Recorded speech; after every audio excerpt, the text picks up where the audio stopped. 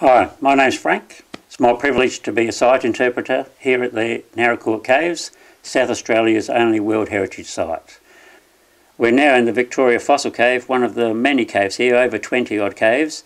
It's a very beautiful cave with lots of delicate formations, stalactites and stalagmites, but it's also very famous for its fantastic fossil collection. Here we have the opportunity to examine the history of this environment by looking at the fossils and from that get a better understanding how today's environment may work.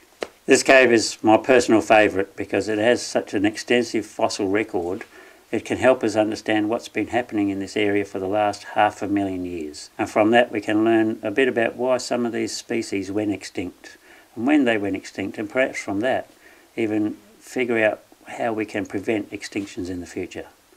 So if you're thinking of coming to the Naracoorte Caves, there's a whole range of things you can do. Three standard cave tours plus a couple of self-guided options. There's the bats tour where you can watch the bats within the bat cave using infrared technology. And there's also the adventure caving if you're game enough when you want to get down and get dirty.